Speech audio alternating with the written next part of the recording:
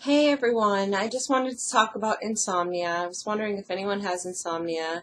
Of course, I've said this before. I have panic disorder, generalized anxiety disorder, agoraphobia, and probably some separation anxiety disorder as well.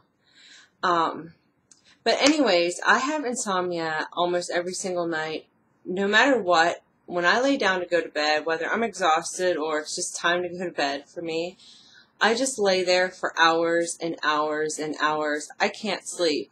So instead of just laying there, not being able to sleep, and then having the racing thoughts go through my mind and just, you know, just laying there, I usually just stay on the computer or do something to keep my mind busy because to me, it's worse to lay there and just think about things and it makes my anxiety worse than just be doing something. So a lot of times I'll stay up till, you know, five, six o'clock in the morning until I'm literally so exhausted, I will just pass out. And that's pretty much every single night.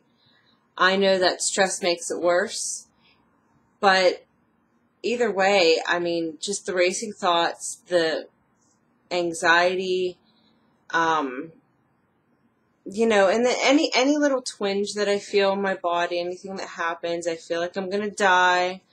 And everyone calls me a hypochondriac, but I know that I'm really not. I know it's my anxiety.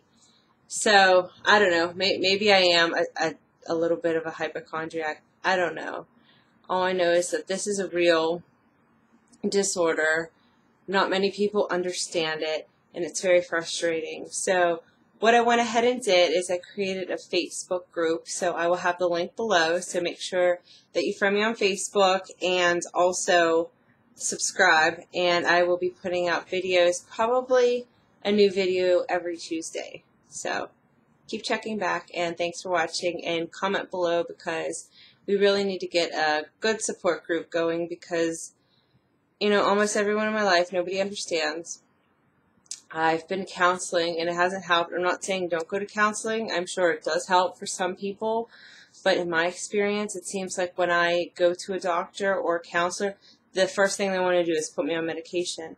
And I always say that I don't want to be on medication. That's just my personal preference. Some people go on medication and they're fine. Just my preference is I don't want to go on medication.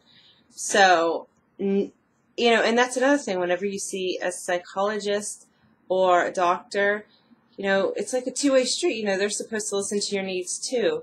And no one listens and it's frustrating. And, you know, if I go into an office, true story, and if you go back to my previous videos, you'll probably see this. I went to a counselor once, and the first thing that I told her is that I didn't want to be on medication. And she said, Oh, okay, that's fine. And literally about four times throughout the entire intake session, she mentioned medication four times. I told her I don't want to be on medication. And then at the end of the appointment, she told me she wanted to make an appointment with the psychiatrist for a medication evaluation. You know, I, I just told her that. I, oh, I told her four times that I want to be on medication. So, anyways, like I said, it is good for some people. I'm sure it works, but it's not for everyone, and it's just not for me. That's just not my treatment. I want to get better 100% me.